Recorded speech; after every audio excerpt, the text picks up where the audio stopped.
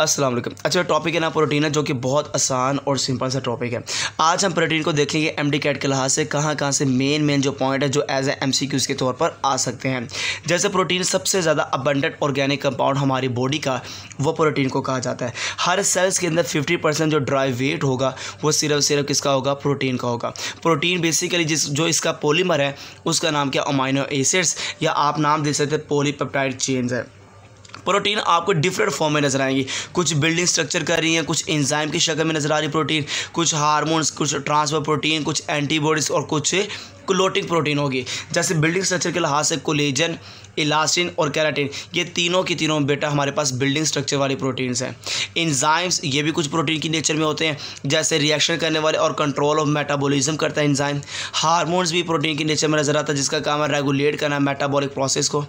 Transport कुछ proteins हैं जो ऑक्सीजन लिपड और मेटल आयंस को ट्रांसपोर्ट करती हैं, जैसे हीमोग्लोबिन हो गया मायोग्लोबिन हो गया।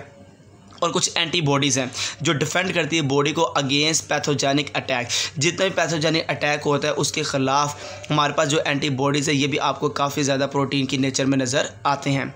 कुछ क्लोटिंग प्रोटीन है, जो हमारी बॉडी के अंदर होने वाले इंजरी की वजह से, जो लॉस ऑफ़ ब्लड है, उससे प्रिवेंट करती हैं। तो कुछ क्लोटिंग प्रोटीन है, जो आपको एज अ प्रोटीन की नेचर में नज़र आती हैं। अब जितने भी प्रोटीन्स है, ये आपको जिससे मिलकर मिलकर बनी हुई नज़र आती है, उसका नाम है अमाइनो एसिड। टोटल जो अमाइनो एसिड वन सेवेंटी जो डिस्कवर्ड हो गए थे, ट्वेंटी फाइव प्रोटीन को बनाने में इन्वॉल्व होते हैं और सबसे ज़्यादा जो मोस्ट इन्वॉल्व होने वाले हैं, वो ट्वेंटी अमाइनो एसिड हैं। तो 170 से हमने निकले। और कितने अमाइनो एसिड पे आगे बेटा? 20 टाइप्स के अंदर आ गए जो मोस्ट प्रोटीन को बनाने में इन्वॉल्व होते हैं। हर अमाइनो एसिड का स्ट्रक्चर को देखा जाए तो सेंटर पे होता है अल्फ़ा कार्बन ऊपर आर ग्रुप होगा, नीचे हाइड्रोजन होगा, यहाँ पे अमाइनो ग्रुप होगा, और एक साइड पे कार्बोक्सिलिक ग्रुप होगा। मतलब कि सेंटर पे अल्फ़ा कार्बन है। और चारों जगह पे डिफरेंट चीज़ें अटैच है। एक अमाइनो ग्रुप एक आर साइड चेन जिसको कहते हैं, एक हाइड्रोजन आ गया और क्या आ गया? कार्बोक्सिल ग्रुप आ गया। ये बेसिकली हमारे पास ऑर्गेनिक एक कंपाउंड है जो मैं आपको बताने जा रहा हूँ। अल्फ़ा कार्बन का मतलब क्या है? कि यहाँ पे जो सेंट्रल कार्बन उसको अल्फ़ा कार्बन कहते हैं, क्योंकि चारों चीज़ें डिफरेंट है। हाइड्रोजन एक है, एक अमाइनो ग्रुप है, एक कार्बोनाइल ग्रुप है और एक आर है। और ये आर सब का डिफरेंट होता है। ट्वेंटी अमाइनो एसिड है। तो ट्वेंटी के ट्वेंटी अमाइनो एसिड का क्या चीज़ डिफरेंट होगी बेटा? आर डिफरेंट होगी। अब सारे अमाइनो एसिड को जोड़ने वाला जो बॉन्ड है, उसका नाम है पेप्टाइड बॉन्ड पेप्टाइड बॉन्ड आपको डाई पेप्टाइड की फॉर्म में भी नज़र आएगा, आपको ओलीगो पेप्टाइड की फॉर्म में भी नज़र आएगा, और आपको पोली पोलीपेप्टाइड की फॉर्म में भी नज़र आएगा। जब ये बॉन्ड बनता है तो ये जिस प्रोसेस से बनता है, उसका नाम डिहाइड्रेशन है, या कंडेंसेशन ऑफ़ अमाइनो एसिड्स है। ये आपने याद रखना है, ये बॉन्ड्स की बनने की जो फॉर्मेशन है, वो डिहाइड्रेशन है, या कंडेंसेशन ऑफ़ अमाइनो एसिड्स है। जैसे आप भी देखते ज़रा, ये एक अमाइनो एसिड है, ये एक दूसरा अमाइनो एसिड है। इस अमाइनो एसिड के साथ मैंने एच लगा दिया और एच का मतलब ये क्या बन गया? ग्लाइसिन बन गया। यहाँ पे आर की जगह मैंने सी एच की थ्री लगा दिया। ये एलानीन बन गया। मतलब आर को चेंज करते जाओ अमाइनो एसिड की डिफरेंट टाइप्स आपके सामने बनती जाएगी। ए कार्बन का कार्बोक्सिल ग्रुप आ गया है और ए कार्बन का अमाइनो ग्रुप आ गया है। इस अमाइनो ग्रुप से एच जाएगा, इस कार्बोक्सिल ग्रुप से ओ एच जाएगा, ठीक है? और जब ये निकल जाएगा तो वोटर निकलेगा और वोटर निकलने के बाद ये आपके सामने एक कंप्लीट स्ट्रक्चर बन गया। ये बेटा they are called peptide bond है। क्या नाम है they are called peptide bond है। पर ये मॉलिक्यूल कौन सा है? एक और दो अमाइनो एसिड है। इसको डाई पेप्टाइड मॉलिक्यूल कहते हैं। ये याद रखना आपने। कौन सा मालिक्यूल होगा? डाई पेप्टाइड होगा। और डाई पेप्टाइड में कितने पेप्टाइड बॉन्ड होते हैं? एक पेप्टाइड बॉन्ड होता है। ये आपने याद रखना है। बस ये आपने लाजमी याद रखना है कि अगर दो अमाइनो एसिड होंगे तो एक पेप्टाइड बॉन्ड होगा। अगर तीन अमाइनो एसिड होंगे तो एक को कम कर दें, दो पेप्टाइड बॉन्ड होंगे। अगर सौ अमाइनो एसिड होंगे, एक को कम कर दें नाइन्टी नाइन पेप्टाइड बॉन्ड होंगे। ठीक हो गया? और इस पूरे के पूरे स्ट्रक्चर का नाम क्या है? ग्लाइसिल एलानीन है। ग्लाइसिल एलानीन एक ग्लाइसिन था, एक एलानीन था, दोनों को मिलाकर क्या बन गया? ग्लाइसिल एलानीन बन गया। देखिए ज़रा, आपको मैं एक चीज़ बताता हूँ। ये डाईपेप्टाइड मॉलिक्यूल है। डाईपेप्टाइड मॉलिक्यूल में हमने मॉलिक्यूल नहीं लिखा भाई, यार से लिख लीजिएगा। डाईपेप्टाइड मॉलिक्यूल है, इसमें एक बॉन्ड है, एक पेप्टाइड बॉन्ड है। ट्राईपेप्टाइड मॉलिक्यूल है, एक, दो। दो पेप्टाइड बॉन्ड है टेट्रा पेप्टाइड मॉलिक्यूल है, एक, दो, तीन, चार चार अमाइनो एसिड है तो तीन क्या होंगे बॉन्ड होंगे। पॉलीपेप्टाइड मॉलिक्यूल जो भी होगा ना आपके पास, आपने एक को कम कर देना, वो उसके पास बॉन्ड की तादाद होगी। और अगर आपसे पूछा जाए अमाइनो एसिड है, वो तो आपको पता लग गया टेट्रा का मतलब चार अमाइनो एसिड होंगे ट्राई का मतलब तीन अमाइनो एसिड होंगे, दो का मतलब दो अमाइनो एसिड होंगे, पर उसके लिहाज से आपने एक कम कर देना है अमाइनो एसिड की तादाद को तो वो जो आपकी तादाद आएगी वो आपके पास पेप्टाइड बॉन्ड की तादाद आ जाएगी। ठीक हो गया? तो यहाँ पे आगे चलते हैं। जितने भी आपके सामने लंबी चेन नज़र आती है जब भी आप देखेंगे कि एक लंबी चेन बनी अमाइनो एसिड को जुड़ने के बाद तो हमेशा स्टार्ट ये करता है कार्बोक्सिल ग्रुप। मतलब ये सी टर्मिनल सी टर्मिनल से सेंथिसिस स्टार्ट होती है। मतलब कि जब भी आगे कोई आएगा अमाइनो एसिड तो जो पहले का मौजूद है डाई पेप्टाइड या ट्राई पेप्टाइड या टेट्रा पेप्टाइड या पेंटा पेप्टाइड उसका आगे वाला पार्ट कौन सा होगा? सी टर्मिनल होगा। ये आपने याद रखना है, ठीक है? तो polymerisation start from C terminal ये आपने याद रखना सी टर्मिनल से आगे स्टार्ट होती है। अटैचमेंट और सी टर्मिनल का मतलब क्या होगा? जहाँ पे क्या होगा? कार्बोक्सिलिक ग्रुप होगा। कार्बोक्सिलिक ग्रुप होगा। ले मेरे बच्चे, आगे आप देखिएगा।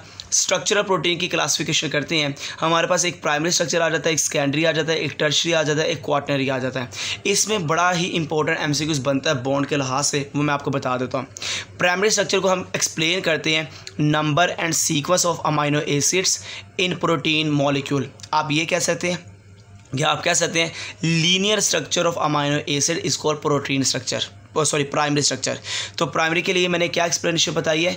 Number and sequence of amino acid in protein molecule तो प्रोटीन मॉलिक्यूल का number and sequence of amino acid क्या है?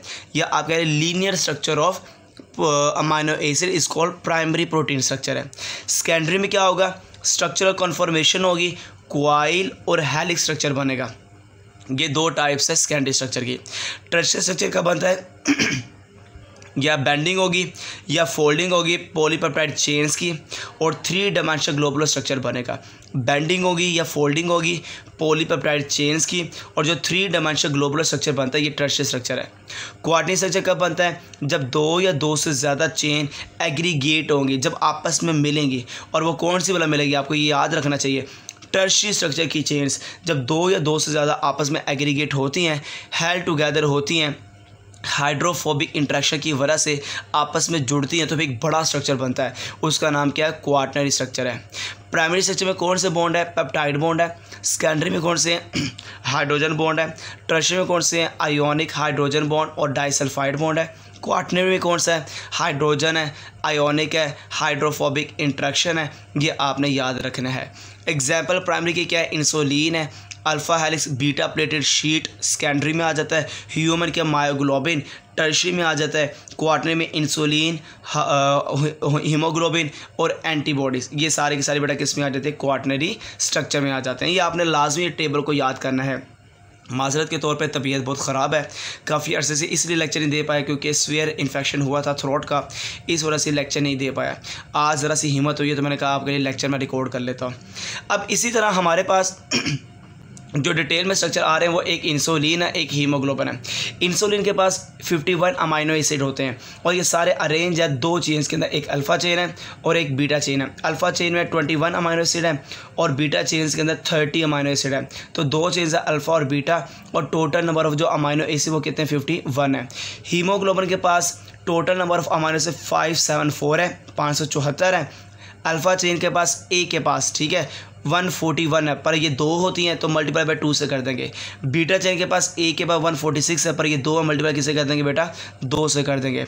तो formula for finding number of peptide bond हम किस से किस तरह से नंबर ऑफ़ पेप्टाइड बॉन्ड को देख सकते हैं? तो आपने कहना total number of amino acids total number of chains हम इसको माइनस करेंगे तो हमारे पास नंबर ऑफ़ टोटल जो पेप्टाइड बॉन्ड्स हैं, वो आ जाएँगे। मतलब total number of amino acids total number of chains इनको माइनस करना है। माइनस करने के बाद हमारे पास पेप्टाइड बॉन्ड आ जाएगा। जैसे इसके पास टोटल पेप्टाइड चेन्स कितनी थी? दो और दो चार हैं। और total number of amino acid कितने हैं? फाइव सेवन फोर है। फाइव सेवन फोर को माइनस करेंगे चार से तो हमारे पास नंबर ऑफ़ पेप्टाइड बॉन्ड आ जाएगा। चलिए देखते हैं जरा इसको मैं ये भी हल करके दिखाता हूँ। मायोग्लोबिन के पास अमाइनो एसिड कितने हैं? वन फिफ्टी थ्री है। नंबर ऑफ़ चेन्स कितनी है? वन है। तो अमाइनो एसिड ये चेन ये माइनस करेंगे one fifty two peptide bond होंगे। हीमोग्लोबिन के पास 174 अमाइनो एसिड है। चेन्स कितनी है? चार है। तो माइनस करेंगे हमारे पास पेप्टाइड बॉन्ड की तादाद आ जाएगी। ठीक हो गया? अब देखते हैं कुछ इंपॉर्टेंट पॉइंट्स सबसे ज़्यादा अगर देखा जाए बेंडिंग और फोल्डिंग के लिहाज से जो एक्वस मीडियम में होता है, उस नाम का, उस स्ट्रक्चर का नाम क्या है? They are called tertiary structure है। सबसे इंपॉर्टेंट पॉइंट बता रहा हूँ अभी मैं ये एम टी कैट क्लास से कि ऐसा स्ट्रक्चर बताओ जो एक्वस मीडिया में बेंडिंग और फोल्डिंग फॉर्म में नज़र आता है, जिसकी इंजाइम की शक्ल भी इसी तरह की होती है। वो टर्शरी प्रोटीन का स्ट्रक्चर है। जो हाईली कॉम्प्लेक्स ग्लोबल स्ट्रक्चर है, वो बेटा क्वार्टनरी है। जो डायरेक्टली डीएनए से बनता है, वो प्राइमरी स्ट्रक्चर है। Chemical linkage of all proteins सारे जो केमिकल लिंकेज है, जो प्रोटीन के अंदर होते हैं, वो पेप्टाइड होते हैं, ठीक है? पेप्टाइड बॉन्ड होते हैं। स्कैंडी स्ट्रक्चर में किससे बनता है? हाइड्रोजन बॉन्ड से बनता है। Form at level of tertiary जो टर्शरी लेवल पे सबसे मेन जो बॉन्ड है, उसका नाम क्या है? आयोनिक बॉन्ड है। मोस्ट सेंसिटिव हाई टेम्परेचर में कौन सा बॉन्ड होता है? हाइड्रोजन बॉन्ड होता है। ठीक हो गया? तो ionic bond is sensitive to pH है। पीएच के से सेंसिटिव कौन सा आयोनिक बॉन्ड है और टेम्परेचर के से कौन है हाइड्रोजन बॉन्ड होता है। और जो हाइड्रोफोबिक इंट्रैक्शन है, ये सेंसिटिव होता है डिटर्जेंट से। ये आपने तीन चीज़ें याद रखनी है। आयोनिक बॉन्ड सेंसिटिव है पीएच के लिहाज से और हाई टेम्परेचर के लिहाज से हाइड्रोजन बॉन्ड है। और हाइड्रोफोबिक इंट्रैक्शन किसके लिहाज से सेंसिटिव है बेटा? डिटर्जेंट के लिहाज से। ये तीन पॉइंट आपके दिमाग में फिक्स होने चाहिए, याद होने चाहिए। आपने कभी इसको भूलना नहीं है। अब बड़ा क्लासिफिकेशन करते हैं प्रोटीन की। दो तरह के प्रोटीन हमारे पास है क्लासिफिकेशन क्लास है एक है फाइब्रस और एक है ग्लोबुलर प्रोटीन फाइब्रस और ग्लोबुलर में क्या फ़र्क है? शेप क्लास है ये फिब्रिल फॉर्म होता है, धागे की तरह होता है, ये सफेरिकर एलिपसोइडल ये राउंड से स्ट्रक्चर में होता है ग्लोबुलर स्ट्रक्चरल क्लास है ये स्कैंडी प्रोटीन स्ट्रक्चर रखता है, ये टर्शरी और क्वाटनी स्ट्रक्चर रखता है। सोलेबिलिटी के लिहाज से फाइब्रस इनसोलेबल है और ये सोलेबल होता है एक्वस मीडियम के अंदर। जो क्रिस्टल के लिहाज से फाइब्रस नॉन क्रिस्टल लाइन है और ग्लोबल क्रिस्टलाइन फॉर्म में होता है। फाइब्रस इलास्टिक इन नेचर है और global in elastic in nature है। रोल के लास्ट से फाइब्रस, ये स्ट्रक्चरल रोल अदा करता है, हमारे स्ट्रक्चर बॉडी का स्ट्रक्चर वगैरह बनाता है सेल का स्ट्रक्चर बनाता है और ये फंक्शनल रोल अदा करता है। स्टेबिलिटी क्लास से फाइब्रस मोर स्टेबल है और ग्लोबुलर लेस स्टेबल होता है। फाइब्रस में एग्ज़ाम्पल आ जाती है silk fibre myosin fibrin keratin ये आ जाता है फाइब्रस में। एंजाइम एंटीबॉडीज़ है यार, ये पूरा लिख लें एंटीबॉडीज़, हारमोन्स, ये पूरा लिखना हारमोन्स, ये सारे के सारे जो आ जाते हैं किसमें आ जाते हैं? ग्लोबुलर प्रोटीन में आ जाते हैं। स्ट्रक्चरल प्रोटीन, जैसे फाइबरस प्रोटीन है कौन कौन सा? कोलेजन, इलास्टिन, कैराटीन, हिस्टोन, ये सारे स्ट्रक्चर प्रोटीन है ना? हिस्टोन क्रोमोसोम को बना रही है कैराटीन, हमारी कवरिंग, हेयर्स और नेल्स को बना रही है इलास्टिन, ये हमारे टेंडेंट्स और लिगामेंट्स को बना रही है कोलेजन, ये हमारे बोन और कार्टिलेज का मैट्रिक्स बना रही है। फंक्शनल में इंजाइम आ जाता है। मेटाबॉलिज्म को कंट्रोल करने वाला हार्मोन को रेगुलेशन करने वाला हार्मोन क्या कहता है? रेगुलेशन ऑफ़ फिजियोलॉजिकल एक्टिविटीज़ को एंटीबॉडीज़ इम्यूनिटी को कंट्रोल कर रहा है। हीमोग्लोबन ये हमारे गैसेस को ट्रांसपोर्ट कर रहा है। फाइब्रिनोजन ब्लड क्लोटिंग कर रहा है। Oval albumen. ये अमाइनो एसिड को स्टोर कर रहा है एग के अंदर और कैसीन ये अमाइनो एसिड को स्टोर कर रहा है मिल्क के अंदर। तो मिल्क मिल्क के अंदर अमाइनो एसिड को स्टोर करने वाला कैसीन प्रोटीन है और अंडे के अंदर अल्बीन अमाइनो एसिड को स्टोर करने वाला ओवल अल्ब्यूमन है और ब्लड क्लोड करने वाले फाइब्रिनोजन है। ये सारे के सारे मैंने आपको फंक्शनल के लिहाज से बता दिया और स्ट्रक्चर के लिहाज से भी बता दिया बड़ा दुआ कीजिएगा। ऐसे ही ज़रा सी जो सेहत स्टेबलाइज हुई है इसी तरह रहे ताकि मैं आपके लिए सारे के सारे लेक्चर बना सकूँ और प्रॉपर आपको लेक्चर प्रोवाइड कर सकूँ ताकि आपको भी इन लेक्चर से ज़्यादा से ज़्यादा फ़ायदा हो सके। तो बेटा दुआ कीजिएगा। जजाक खैर।